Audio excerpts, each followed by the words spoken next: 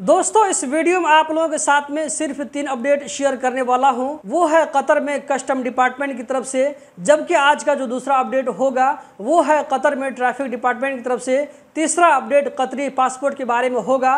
तो दोस्तों, वीडियो बहुत ही ज़्यादा इन्फॉर्मेटिव होने वाली है। तो वीडियो के साथ में आखिर तक बने रहें। चलिए, इस वीडियो को हम कंटिन्यू करते हैं। यहाँ पर आप लोगों को एक वीडियो चलती हुई नज़र आ रही होगी। दोस्तों, ये video Qatar Hamad International Airport की वीडियो है, जहाँ पर आप लोग बैगेज को देख सकते हैं। इसी बैगेज में से एक बैग में कोई ऐसा सामान मिलने वाला है जो कि ममनुआ सामान है।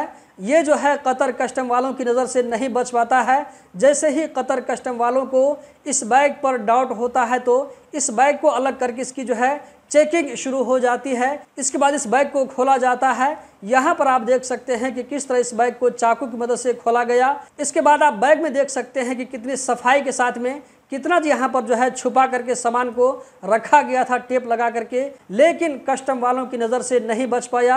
यहाँ पर आप दोस्तों देख सकते हैं कि ये सारा सामान जो है बरामद हो चुका है।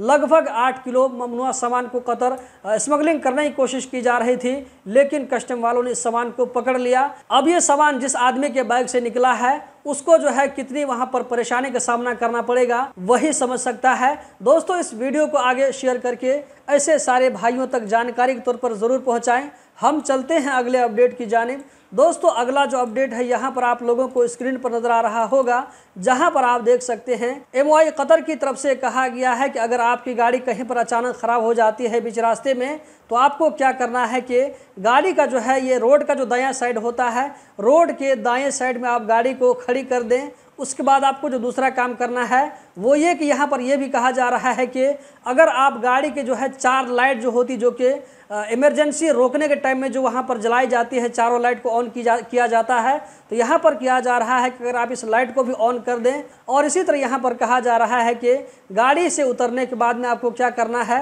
आप देख सकते हैं कि ये कतरी उतरने के बाद में गाड़ी के पीछे से कौन सा सामान निकालने वाला है। मेरे ख्याल से इस तरह का सामान हर गाड़ी के अंदर में होना चाहिए। अगर नहीं है तो आप जो है परचेज करके सामान को ज़रूर रखें।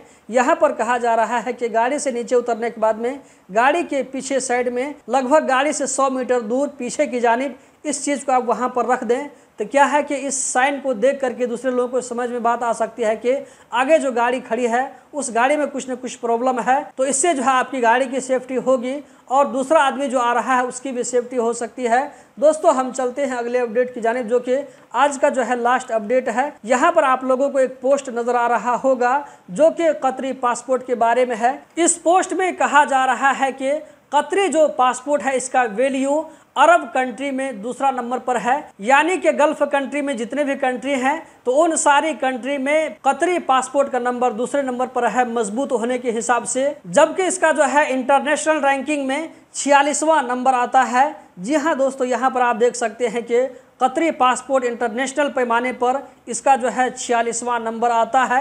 दोस्तों, इस वीडियो में इतना ही। उम्मीद करता हूँ कि अपडेट आप लोगों को ज़रूर पसंद आए होंगे। कतर के बारे में रोज़ाना इसी तरह की इन्फॉर्मेटिव वीडियो देखते रहने के लिए गल्फ एक्सपर्ट यूट्यूब चैनल को ज़रूर सब्सक्राइब करें। वीडियो को आगे ज़रूर शेयर करें। बहुत बहुत शुक्रिया।